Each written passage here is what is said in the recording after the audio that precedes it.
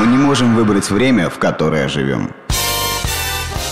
Зато мы можем помнить время, в которое могли бы жить. Вспомнить все. Программа о памятных датах земли Псковской выходит при поддержке Псковской областной универсальной научной библиотеки. На календаре 22 февраля. В этот день в 1926 году в деревне Машутино Строгокрасненского района родился будущий поэт, баснописец Евгений Михайлович Афанасьев. Когда началась война Великая Отечественная, он успел закончить 8 классов. В 1944 году был угнан в Германию. В 1945-м после освобождения завербовался на стройке Урала, но из-за болезни вернулся на родину. Закончил Ленинградскую школу механиков. С этого времени стал сотрудничать в газетах. Писал басни, пародии, эпиграммы, стихотворные фильетоны. Окончил литературный институт имени Горького и работал в районной газете.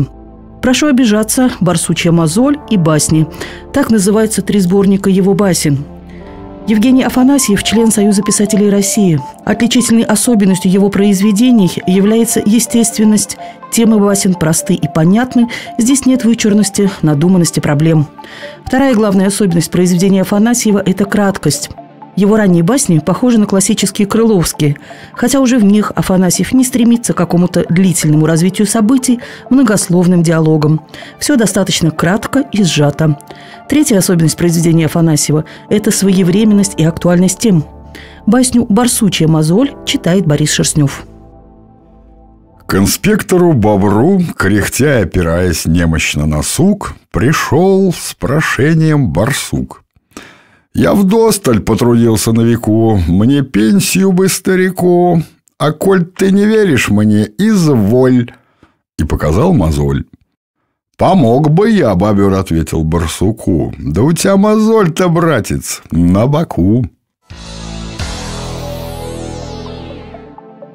В ночь на 22 февраля 1942 года силами 1 и 3 полков был произведен налет на гитлеровский гарнизон в райцентре Дедовича.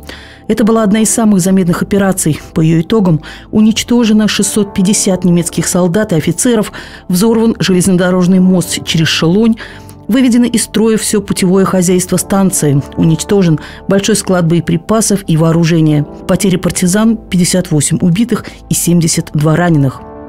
Другая операция тех дней Исключительно удачное нападение партизан на подразделение карателей в деревне Тюрикова. Среди карателей были и русские перебежчики, бывшие военнопленные, полицаи.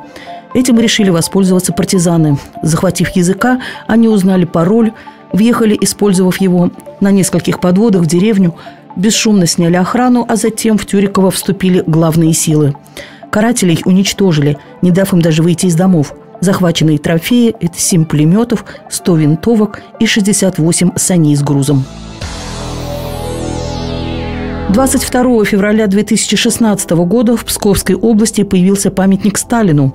Бюст бывшего генсека СССР высотой в 2,5 метра установили в музее-заповеднике «Линия Сталина» как раз накануне Дня защитника Отечества – его поставили в начале оборонительной линии, которую в 1930-е строили вдоль старой границы СССР от Карелии до Черного моря.